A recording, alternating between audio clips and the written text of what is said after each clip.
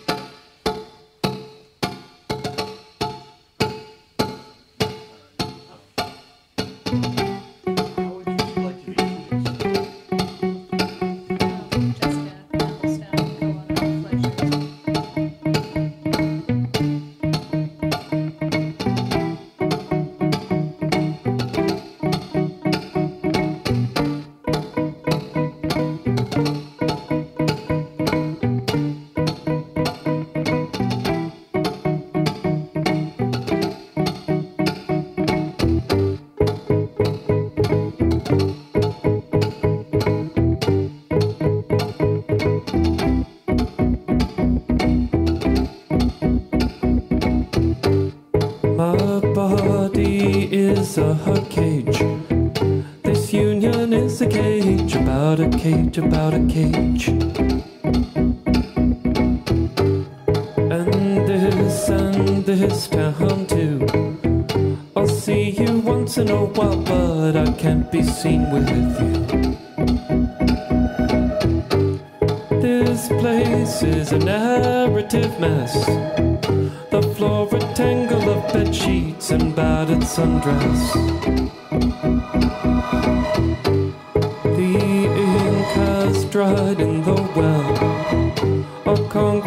So consequential, now sequential, sequential, sequential, sequential.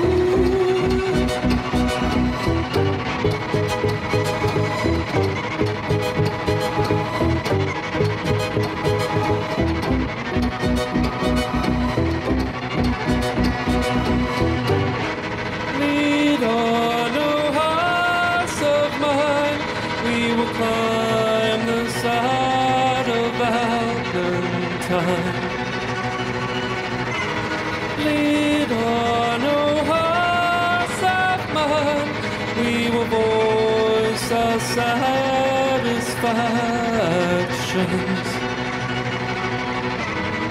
Paula is the concatenation of your actions. Thanks. Woohoo! Ladies and gentlemen, welcome to a very gray and dreary edition of Snacky Tunes.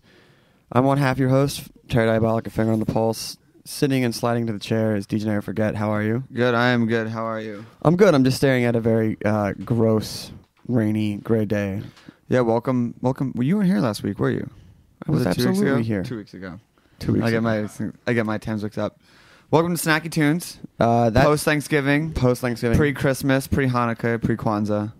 Really, it, it all. I mean, I think Someone told me today is Cyber Monday, which is supposedly when you get good online deals. Is that true? it- it- yes. Yes, It is. It's Cyber Monday. is that the new Black Friday? Black Friday is the Cyber Monday is the modern Black Friday. Great, because uh, it's in the future. Yeah, great. Uh, good Friday. Thanksgiving. Had fun DJing. Live forever. Shout out to John Redden. I mean, I didn't do anything. I had I had surgery on Wednesday, and I sat at my house until Saturday to a DJ. I took care of business for us downtown. Yeah, yeah I'm better though. But uh, I'm healing. We have a packed studio today. Uh, we have uh, our special musical guest, Alan Astor. How you doing? Doing great, doing great. Uh, thanks for coming out on Saturday, man. Been a lot to see you. Yeah, man, you guys were amazing. now you're just saying that because we're getting you free pizzas. It is the pizza, I'll be honest. Yeah, big shout out to Roberta's, uh, not only sponsoring our show today, but sponsoring our stomachs with delicious food. And uh, shout out to Jack, Inzi, and RecTech holding it down in the production booth as always. And uh, but w- who are really, you know, I mean, Alan, I'm excited to see you, but I see you all the time. It's true. We live around the corner from each other. We're But uh. I want to welcome the Applestones Yes, welcome. to our to our studio. Uh, you might know them from their fantastic operation of Fleishers. Upstate New York. Want to tell us about? Tell tell a. Well, introduce listener. yourselves. We we have Joshua and Jessica. I'm Jessica Applestone, and I'm a co-owner of Fleishers. And I'm obviously Joshua because my voice is nowhere near as high as Jessica. Uh, let's also not forget that you are also the Muru. I have been titled the Muru. What yes. what is the Muru? That's up to Josh to explain. Uh, I think it comes from uh, just being able to really explain to people in a very uh, non-intimidating way about how to handle uh, proteins, beef, lamb, pork, and chicken, and just uh, trying to bust the um, myths out there of things people worry about or um, the intimidation it is to cook at home. We just make it easier. What is a what is a common myth that you bust on a weekly basis? Uh, probably how to defrost meat. That's probably one of the best ones. Oh, actually, I have some of your. Uh, I actually have some of your meat in the freezer from the shoot. And I actually was going to ask you because I didn't know how to properly defrost it. So let's do this. Okay, let's just start with not on your countertop. Okay. Okay, that Okay. would be the first thing. Okay. Um, I mean, Josh can take over if you want. Um, the best way to defrost meat is always keeping it at a cool temperature. Okay. So if you can, def- if you have the time to defrost it in your refrigerator, take it from your freezer to your refrigerator on a plate or a bowl, so it doesn't drip into your lovely cheese or low your shelf, too, when you Yeah, defrost it. exactly. So you're you're kind of you know working with gravity in that way too. Um, but if you don't have the time to do that, then the best way to go is to put it in cold water, not warm water, because otherwise you're going to kill all your dinner guests. And um, basically, you want to do cold water, and then as soon as the water starts getting warm, make it cold again. So keep it running, or either keep it running if you live in New York City and you have an endless amount of water, or if you live where we are and we have a well system, just keep changing the water out until so it's cold. And um, it should defrost within a couple of hours then. I did not oh, know that. Oh, wait a second. Can we define cold temperature wise? Um, below forty. Yeah, exactly. Okay. How long does it take to defrost in the uh, in the fridge? About a day and a half. No, around- probably around twelve hours to eighteen. As far as like Depends able on to what make it is, really. cookable. You Yeah. know, Okay. not completely soft, but like, Right. you know. Yeah. Well, now I learned. That's some takeaway knowledge for me. Boom. Um, but so for every, I mean, I'm sure a lot of people in the Heritage Radio Network know about Fleishers, but people in the Finger on the Pulse world might not know as much. Do you want to just give a brief, you know, a 30 second rundown about what you guys are about, where you're located, how this Sure. happened? Um, we started five and a half years ago. Josh and I came up with the idea of Fleishers. Um, it was a very selfish reason that we started. Uh, Josh at the time was a vegetarian. He was a vegan when I met him. Um, and I was a vegetarian that was sort of transitioning into eating meat, which is really common, I think. But I didn't know where to get the kind of meat that I was looking for. I wanted um, meat that was raised sustainably and killed and, or slaughtered um, ethically. And I wasn't really sure when I went to the farmers markets what I was getting. It was always these sort of frozen hunks of I didn't know what, like chuck roasts or arm roasts or things like I had no idea and looked like they would feed 12 people rather than the one person that I was. Um, and when I would go to the supermarkets in our area, sometimes things were labeled local. And, you know, I didn't know if that meant that they were raised without hormones and antibiotics. So I was, I was really concerned. And then I would go to the local farms and they always wanted to sell me half an animal, you know, half a pig, a side of beef. And I was the only one in the household eating meat at that point. Besides so the dogs. aside from the dogs, yeah. So there was no way that I was going to be able to plow through a side of beef in less than three years, probably. So I, I kind of backed off on that idea. So we thought there must be other people in mixed marriages like ourselves, and um, we decided to come up. We came up with the idea of Fleishers, and we started and. We um, located it in Kingston, New York, which is um, I don't know if you guys know this, but the Hudson Valley was formerly the breadbasket of um, you know New York City and Brooklyn, and so we're in this really really fortunate uh, position because we're in this amazingly beautiful area and there are farms all over the place. And so we never get anything that's raised um, further than 100 miles away. At this point, it's really 50 miles away for us. We get everything slaughtered locally. So, um, you know, our slaughterhouse is 20 minutes away from the shop. And that is our son Isaiah. He's 17 months old Yes. today. So- Oh, ha- and he's been raised on nothing but Fleisher's meats and uh, local dairy and Awesome. local produce. Yeah, he's a pretty organic kid.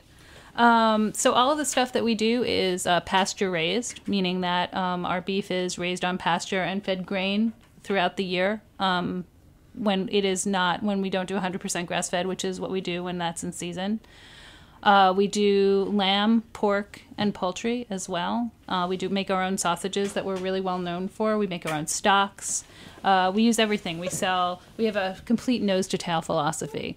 Um, so that's what we do. Why don't, why don't you elaborate on the nose to tail, which is a just a good. I mean, it's a great image, but just And uh, follow up, can you tell us where the nose and the tail wind up in your product? yeah. well, the tail part is easy, but um, we basically, when we started Fleishers, had the idea that um, if we were going to be killing animals, if we were going to have animals slaughtered for us, And we pro- we prefer to use the term processing, not killing. processing, actually. okay, um, that we would. Um, that we had to honor that, you know, that that was a life that was being lost, and that we really couldn't waste that life. Um, so we made very definite decisions in what we did, um, and how we used all of that meat, and how we used all of the extra stuff that you guys might not see in your supermarket, or even um, even if you go to a farm, you might not see it. So we use all our bones for stock. We use uh, we sell marrow bones. Lots of people buy them for their dogs, which we feel is a waste because you can make the most delicious Oh, yeah. marrow butter from it.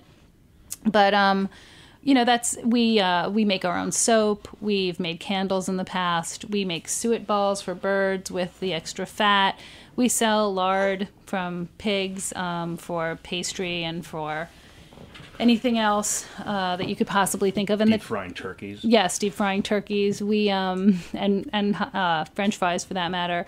We do oxtails, which is where the tails end up, and we don't get the heads of the steer. No, though we we, did get get beef cheeks for a long. We do get beef cheeks for a long time. We don't anymore. The We don't anymore. slaughterhouses we use. The smaller small slaughterhouses really don't have HACCP plans for stuff like that, so we don't get to use the heads. Um, but the pig heads, you know, go go to go to restaurants that use them, or uh, we've you know used them in different ways. We've pulled the cheeks, the ears. We guanciale from the cheeks. The actual the jowls go to guanciale. The cheeks we use for braising. Uh, the heads usually get picked apart and used for various types of charcuterie. Awesome. Um, so I think we're gonna play a song. Well, actually, So let's take a pause and we'll come we'll take back. a pause. We'll take But a pause. I just want to say that we used uh, we used your products in our show, which is one of the reasons why that you're here. We used um, the lamb loin for Right. the oh, dinner that's in one of my van, right. favorites. for the uh, the actual Final Fantasy that track that um, uh, started off our show, Keep the Dog Quiet, uh, which is on ifc.com slash dinner with the band. But like when you when we pulled out that piece of loin, e- everyone's just like, oh, I mean, it just looks different. It looks different. But Healthy we'll- animals' muscles look totally different. Yes, and we'll talk about why that difference and, and how we're gonna how you can uh, become part of this and just come back. Um, listening to Snacky Tunes, HeritageRadioNetwork.com. Uh, let's keep it uh, warm and breezy. Never forget. Take us away.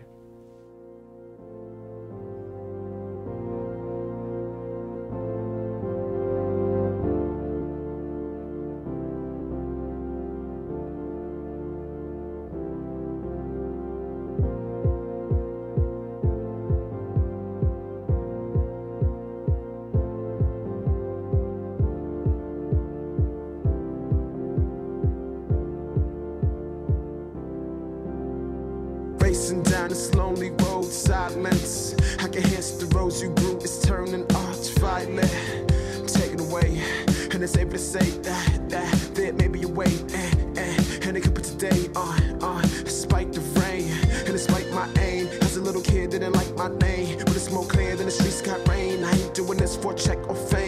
Right here to relieve my pain. Revive all the ears that hear the same. Provide for my family, the ones that came, for the ones that's lost and the ones that's slain. Lost my girl V at an early age. Cry so hard when I turn that page. More than do when a scent of sage.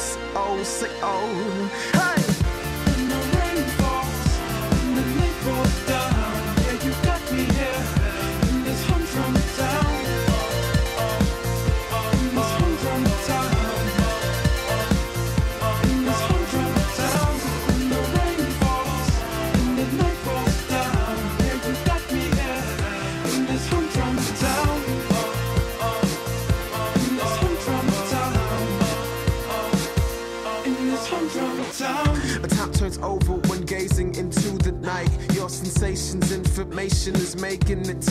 Life. To be you just feels right.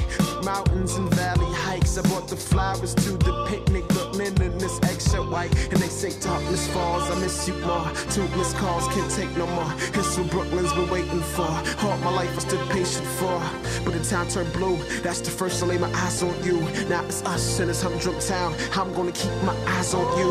You.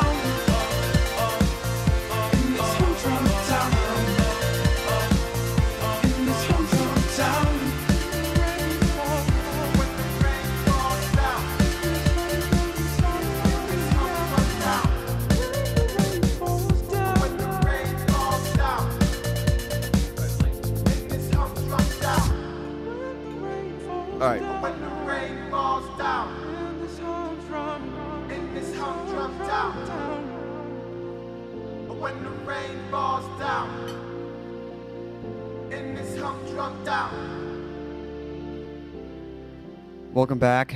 You're listening to Snacky Tunes on Heritage Radio Network. I'm one half your host, Terry Diabolic of Finger on the Pulse. That was just DJ Never Forget playing a very appropriate Theophilus London song, uh, which name escapes me right now. Um, Humdrum Town. It just came out. I think it's on Green Label Sound. It's, if you just Google Humdrum Town, you can actually download it for free on the interwebs. Awesome. Well, if you're just joining us, we have a very lovely, uh, packed studio. Uh, we have Joshua and Jessica from Fleishers. Uh, And their son, And their son. who's 17 months strong today. 17 months strong. Seven, 17 months year, months young. Uh, and we are talking about um, Fleishers and uh, l- local producing of meat and sustainability. And uh, while we were going to the break, we were talking about how we use their products on our show and the uh, the difference in um, locally raised meat and how it just, I mean, even just the look Well, when and I the brought, taste of it. when we um, when I brought my friend up to pick up all the meat, I was actually shocked how beautiful the meat looked. It was just, I mean, the co- it, it's really hard to. It almost looked like um, I keep trying to describe people. It looked like if um, a pastry shop, but with meat. That is so nice of you. That's very nice. I mean, but I mean, but that's really how. No, I but mean, that's you're, really, really- you're painting a case. When I, when we train butchers, we explain to them that you know the case is a blank canvas, and every day you're painting a canvas. You're painting a painting every day a different picture. It depends on the weather. Depends on you know even your mood. Uh, one of the interesting things about uh, casework is that people really don't understand like how unbelievably important it is as a butcher to be able to make raw meat look like candy. Have no different when a chef plates something and a server puts a plate of food in front of you. Your eyes are already eating it, and you'll know before it even hits your mouth whether you're going to enjoy this meal or not. Usually, and that's the same thing with a case where it's really important for people to feel very motivated, passionate, have invoked feelings. Like I said, it's like you know you're still thinking about it. Right. That's exactly what you want to happen. Right. I mean, Sam always says to us, you know, you eat with your eyes first. So, I mean, you could have two meals uh, prepared with the same ingredients and uh, just plated two different ways. And one you'd be like, "I this is great," and the other one would be like, "This is awful. I don't Yeah. want this." I mean, everyone wants stuff to look nice. You know, whether whatever it is, And it's- your it- food's important. it's one of those things where uh, once you see, you know, type the type of product you're putting out, the type of food you guys are putting out, and then you go back to your normal supermarket, you start to realize you're like, wait, what am I actually eating? Like, what's actually coming out of like this mass production? And even if uh, even if nobody makes a switch right away, you start to realize like, that there is a difference. Oh, it's a huge difference, and it's really it's interesting from people who work for us that wind up moving on um, to other fields, and they're just they can amazed. never they can never Yeah. go back to eating Wow. traditional It- meat. It's all over for them, and it, it's really interesting. We are customers too. They, we went up closing for three or four days, and they would have to go somewhere else, and they just come back going, "Wow, it's just unbelievable." Well, we've done it too. I mean, we've gone to restaurants and eaten meat. We were just talking about this, um, and out and um, we're amazed by the fact that it, of the taste. There's no taste. You know, it's sort of it's bland, it's flat. It's you know, we think of our meat as wines almost. You know, it's really res- resonates with the where it's raised. It's kind of like the terroir of of the meat, and uh, so it's earthy and rich and grassy and all the things that you kind of want meat to be, but you don't realize it until you have the right meat. it's like a good wine. Yeah. you know, raised in So tell us region. one of the things that we talked about when you showed me. Um, uh, does you guys kind of work like a front to back system where Mm-hmm. like you're clearing out? And one of the things you said went is that you were working towards a zero garbage can philosophy, which you said is very old school. I had never heard of it, um, and I and I'd love for you to just elaborate on that a little bit more for the listeners. Um, it comes from my whole philosophy with that comes from uh, working with some really good chefs in the past. Um, ben Barker comes to mind out of the Magnolia Grill in Durham. That everything gets used. You know, carrot tops, onion skins. Uh, proteins are the same thing. Where you know a lot of them can be used in really good ways that you wouldn't really think of. We're lately uh, friends of ours and I we are getting into making a pork skin gnocchi or pork skin sauce, which is you know regular nice bolognese sauce or even very light meat if any. Uh, and you braise pork skin down in strips until it's almost translucent, and it just becomes creamy and delicious, and the flavor really just goes throughout the entire sauce. Um, and it's a great way of using something that, just like how ground beef is really important to be used for steers because there's more ground beef than anything else in that animal.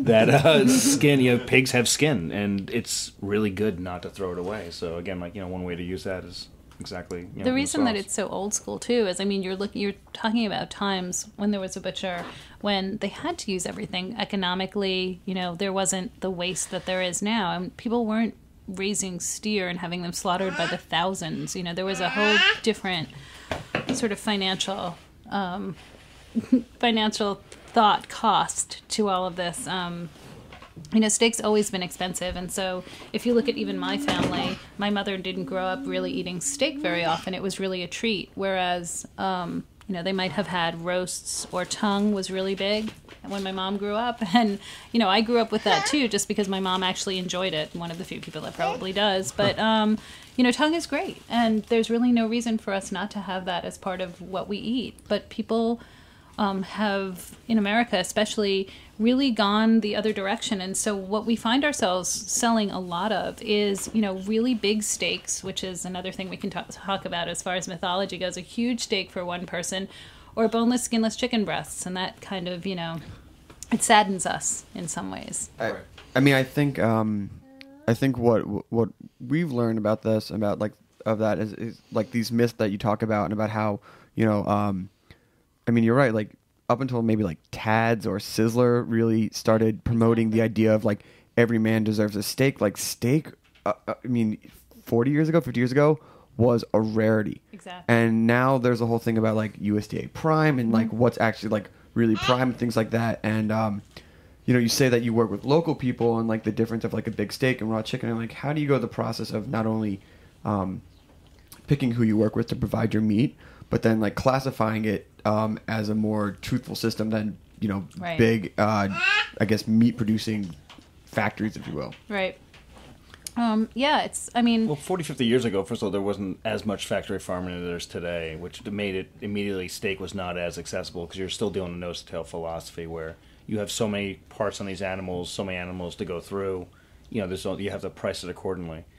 Um, also, with um, well, here you continue.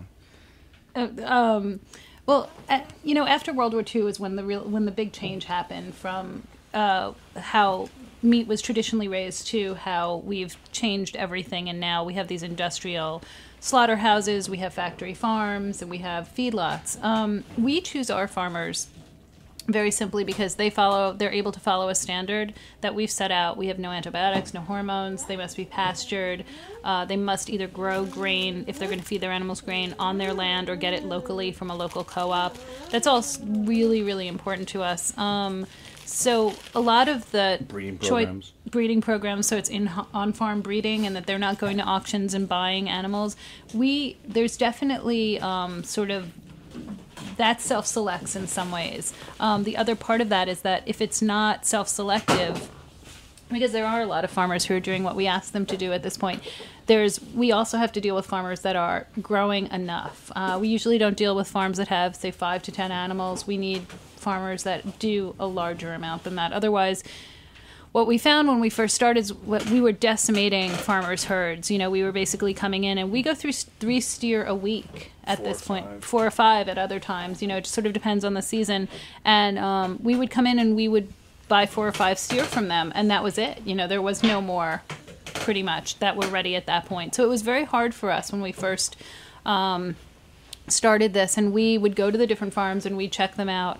Um, we were very lucky to meet some really, really amazing farmers and really amazing um, slaughterhouse people too. That would, you know, that guided us in how to pick animals and what to look for and how to talk to farmers and and where to go. All of that was really, really um, new to us because Josh and I come from Long Island, where you know we're nice kids from Long Island. We I had never been on a farm before. I don't know, you know, how much Josh had been either, but certainly we weren't. We didn't come from farming backgrounds, so that was that was a whole new education for us. Awesome. Well, we want to thank you for coming by today. We want to thank you for your support with, for the show. Yeah, we enjoy Um, your lamb will be featured predominantly tomorrow, and then I believe we also have uh, Sharon Steaks were last week, which also looked fantastic, and uh, I believe there's one more that you gave to us, um, the duck, the duck buns, which will be in I think believe in a, a few weeks as well. So thank you very much. Oh, Stay, enjoy the pizza, um, and uh, Terry, you want to take me to the to the set? Yes, uh, you were listening to Snacky Tunes on HeritageRadioNetwork.com. Uh, never forgets about to hop uh, on the decks. We have Alan Astor chewing on some pizza, going to drop us a set later on. Uh, big shout out to Roberta's, our lovely sponsor, and uh, uh, Jack Inslee and RecTech as our uh, production engineer. Uh, let's get going to the future. Never forget.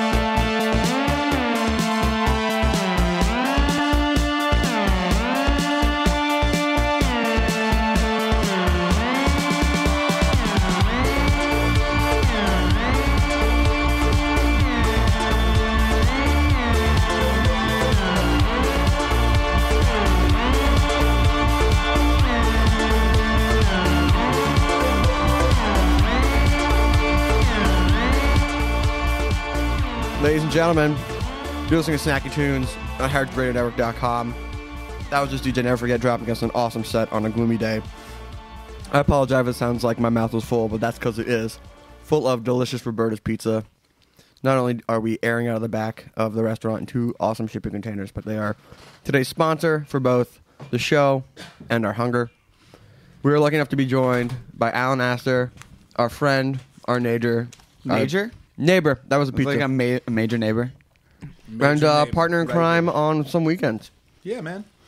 Um, What's up? just so so I can say that that um, last track was Space Base Voyager. It's um, still a demo, but Danzy and her production partner, little Danzy. Oh yeah. Uh, and then before that was the final redo of the um, simultaneously remixed by Lauren Flax, who's eating a Hungry Man slice in the main dining room. Um, and uh, Danze is DJing uh, Lude this Thursday um, at she's Orchard also, Bar. And she's also DJing tonight with Gavin Royce at the Dark Room, which I will be at after the Sake Bar. I got a Monday planned. Nice little Monday. This sounds great. I was I was unaware. Of yeah, I all just found plans. out. This Yeah. sounds. Are we still? sounds like are we going to go? To, are we going to the Moth as well? Yes. Packed week. So what's up, man? Hanging out, man. Just uh, getting back to it after Thanksgiving weekend. You know me. Yeah. Um, you were just in Dubai, I was. which I was in which Dubai. sounds crazy. We we told you to make sure you cleaned your suitcase because you hear those stories of uh, rappers and rock stars who get flagged because they have like trace amounts of drugs and they get locked up in prison for seven. This is not. This is fact. They they have a, a prison full of rock stars and DJs in Dubai. Do they have, really? uh, no. Well, I mean, They've got a couple rappers. If, if you look around, I mean, there's there's some definitely some scary stories. You know, it's like a, you know, Dubai is, is a is an amazing place, and it's a place that is uh, is progressing very quickly. But you know, I mean, some of their laws are just different than some of the laws that we have here, and uh, you know, it's easy to get confused.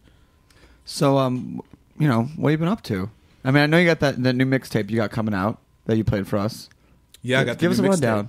Uh, If I was like, "Hey, man, haven't seen you in a couple years. What have you been up to?" You would say, I would say, uh, you know, I've been traveling, playing music, uh, and next couple of weeks are kind of big. I have the mixtape coming out, summer to winter, that that you heard. Um, I have a new remix of a of a rapper named Jet Phoenix, who not many people have heard about yet, but uh, I'll, I'll play the track in just a minute. And uh, I also have some tracks coming out on Alexander Technique's uh, label. DJs are not rock stars. Uh, that's coming out this December, and uh, I got those for you too. "Awesome!" And he lives across the street from us. It's all we all live in like a half a block radius. It's all Brooklyn Hood. it's all Brooklyn Hood. Um, yeah. I don't know what to I'm excited to I'm see that you're here. Yeah, I'm excited to see you. So let's talk a little bit about your process. Yeah, About actually, let, process. let's give a little history. Let's give a little Let's history. cut back to. Uh, I'm 27 now. All right. Let's cut back seven years. Seven If years that ago. ma- I think that's the right time. Seven years ago, I'm going back. Music Okay. director at KWVA, Right. My little college station in Oregon, and I get a CD in the mail from Alan Astor. yes. Not from Alan Astor, from his PR company. And I think you were up on Pitchfork too. There was like a lot of love. What was what was the name of that single? Uh, the single was Fantastic Fantasy. That I- was uh, and that this- came out in 05. Right, and this is oh, so maybe it's not seven years ago, but it's still a good chunk. Four years ago, Four years ago. let's Yeah. say four There or you go. five years ago. Um, but I was like, huh, all right, this guy's you know this was as my transition from rock to dance music, and I I, play, I played that song. That's on my radio man. show, and then so I'm psyched to hear And then we booked you. and I was like, dude, this guy Astor's writing me back. We should book a fair finger on the pulse party. I was like, he's put it on the radio, and then it turns out we all knew the same people. Right. But I so- remember that part. It was us and classics over at Hugs. yeah. Yeah. In so the hood. so from so from the track in 05 to now what's i mean What's you've, happening? you've talked about like evolving and changing your uh changing your approach and i'd be you know it'd be a good thing to share with dear listeners Yeah, sure. Uh, I guess I'm always just trying to to keep it current, you know, and you know, like going back to that that song which you were saying is you know like a transition from rock to dance. You know, that's really what was happening. You know, uh, everybody who was going to rock shows was trying to figure out, hey, you know, what's going on with this dance thing? And there's there's definitely a lot of people like myself, you know, who were going to those rock shows, but being like, ah, you know, we should be dancing a little bit more. So you know, I put that record together, and then uh, you know, next few years, people are dancing more. Uh, I've got much more into remixing. I've uh, I've been exploring a, a lot of my love for hip hop, and um, you know, just always trying to trying to go out and you know see what's going on at the parties and, and seeing what what people are really responding to and seeing what I'm really responding to, and then I don't know. You just go in the studio, come out a couple of hours later, and uh, you got something good to put down. You know. Well, that sounds like we should hear what you're what you're feeling. So, do you want to plug in? I'm trying. love to. We're, we're gonna I'd dance to. you across the studio. I'm All right. trying to hear what you're putting down. Yeah. All All right, right. plug on in. We'll we'll we'll do an outro. All right. Into Give me a your minute. intro. Give me a minute. Yeah, give you a second. So anyway, so uh, again, big shout out uh, to our sponsor today, Roberta's. And to Jack Jack Tech Jack Inslee and Rec Tech. I mean, don't every know. week. Every week. And uh, the the Fleisher crew is about to to say au revoir. So thank you for coming. And make sure uh, to tune in and see their meat on IFC tomorrow night at 11 p.m. for the Final Fantasy episode. Great. Any parting words? Um, just come by and visit us at the shop. We're in Kingston. It's, it's not that I drove there. It's like l- maybe five minutes off the highway. Yeah, it's it's, actually simple. it's, It's really really simple and so beautiful. I mean, the area is just great. So you can come and Go antiquing. exactly come visit us. Go to the tapas bar that uses our meat across the street. It's all lovely. Or visit us on the web. We now do New York City and Brooklyn delivery. So we're Oh, I forgot to ask. If I wanted to eat at a restaurant in the New York Brooklyn area, where do you service? uh, Flatbush Farms or Farm and Adderley. Um, God, you're. I mean, there's tons of places in New York City as well. Um, Brooklyn, you can get our meat at the Meat Hook now. Um, Tom Mylan's new spot. Tom Mylan's new spot, exactly. You can get our meat, um, I think soon or maybe now at the Green Grape, Okay. which is you know in the uh, Clinton Hill, Fort Greene area. Um, so there's lots of places to get it, and you can always check out our website at www.fleishers.com, and you know check out where you can get it on that as well. We always have an updated listing. awesome. And that's uh, F L E I S H E R S. Fleishers.com. So thank you very much to you and your husband and your son for coming through. Thank you. And uh, right now we have Alan Astor on Snacky Tunes, HeritageRadioNetwork.com. Take us away, buddy.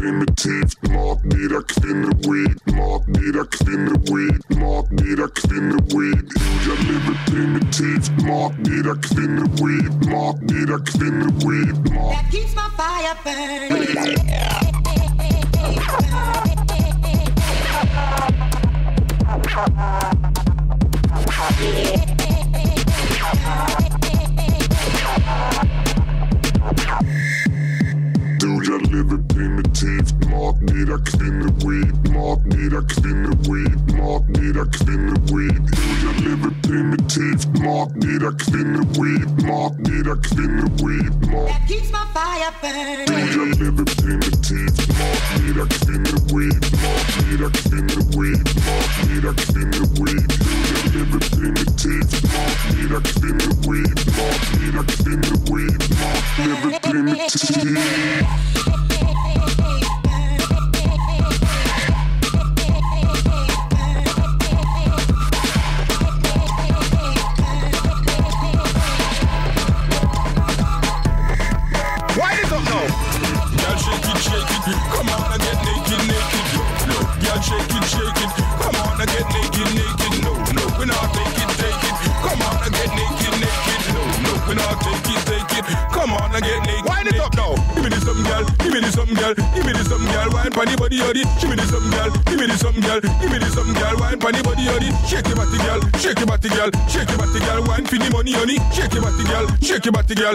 But the girl wine for the money, honey.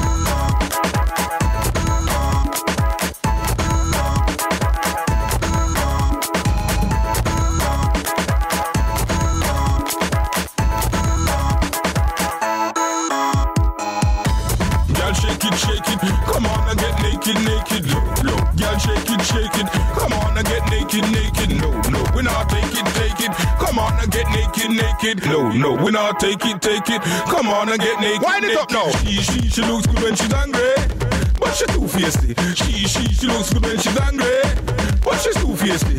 She, she, she looks good when she's angry, but she's too feisty. She, she, she looks good when she's angry, but she's too feisty.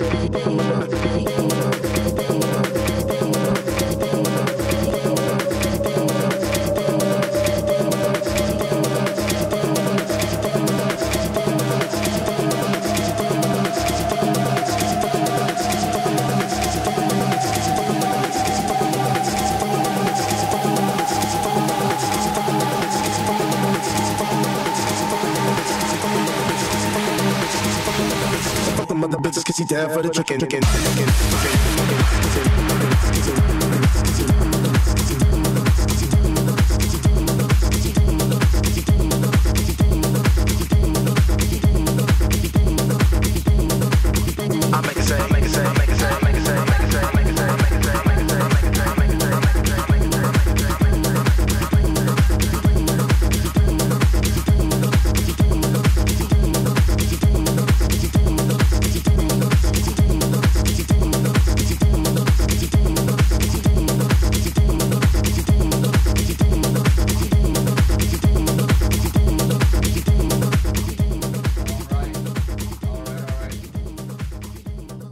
listening to Finger on the Pulse, hosting Snacky Tunes. I am one half DJ Never Forget. Uh, that is Terry Diabolic to my left hand. Alan Astor fading a tune down. Alan Astor, what's up, man? What's up, So why don't you uh, why don't you tell us what you played? Uh, what did I play? I played a couple of tracks in there. Uh, I played the Jet Phoenix remix, which I just finished. Stay hot. Uh, I threw in my old uh, Single Ladies remix in there, which still love and everybody still goes crazy for. Uh, I had some uh, Shake It featuring Sirochi. Uh, we had oh, this not a strum track that we added with ended with. That was uh, that was one of the biggest ones for me this year. That Kid Cudi remix. Loved that. Oh yeah, bit more of a of a, of a banging style than we play, but that's why I love dealing with you. You bring something else to the table. it's always man. a pleasure. I'm always high energy, so. So you DJing out anytime soon? Forgot to ask. Any upcoming gigs? Um, yeah, I might be in Boston this weekend, and then uh, I'm playing somewhere here next on the 12th is next weekend, right? Yeah, I'm at uh, Brooklyn Brooklyn Bowl. Are you playing Brooklyn Bowl? Yeah, I believe so. So, um, uh, a really nice girl, Jennifer Kells, her birthday party. Oh, yeah. music slut. Yeah, you know yeah. those people. Oh yeah, we did. So many people we We, worked together. on the After the Jump Festival with her. Yeah. Yeah. Oh sweet. Yeah. That is killer. It- they got. they She's got, great taste. and they have an amazing sound system. Yeah, amazing sound system. And uh, I played her birthday party a couple of years ago. She's a really fun girl, and uh, yeah, I mean, Music Slut. They do uh, they do great things. That's awesome. Speaking of Brooklyn Bowl, we're gonna be doing that Soul Bowl party with uh, the Mellomatics featuring Binky Griptite I did hear about this. uh, on I the did hear about 16th. It's a free party.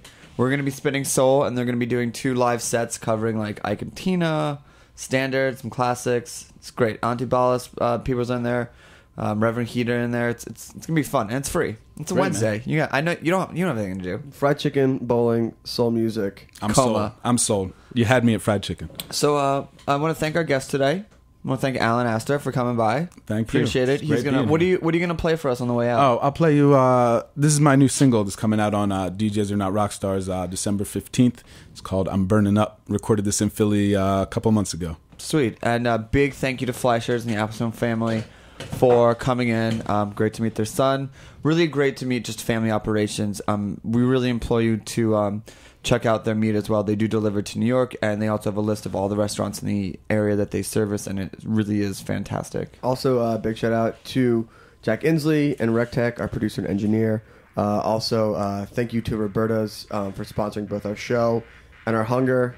All And um, make sure to tune in tomorrow night to IFC at 11 p.m. or set your DVRs so you're not, you know, so you can watch at your leisure. Final Fantasy. Next week, I believe we have members of Less Heavy Fab in the studio. Mm-hmm. And I don't know, I don't think we have a food guest set up yet, but we'll figure it out. We figured out. Figure Hey, it out. if you're a food guest and you have something interesting that you want to say, you can always reach out to us at music at fotpnyc.com. Also, if you're just a fan and you want to hear something uh, that we're not talking about, or just some other tunes, or you, uh, I don't know, maybe you want to email Hug. And uh, if you enjoyed this show and you haven't been listening to us from the start, um, all of our episodes are podcast. If you just go to iTunes Store, podcast, and search Snacky Tunes, we'll come up. And that's about it. It's snack with a Y. Snack of the Wild. Anyway, we are Finger on the Pulse. You're always humble and hungry radio servants hanging out on a gloomy day in Brooklyn. Uh, Snacky Tunes, Heritage Radio Network, Alan Astor, send us home.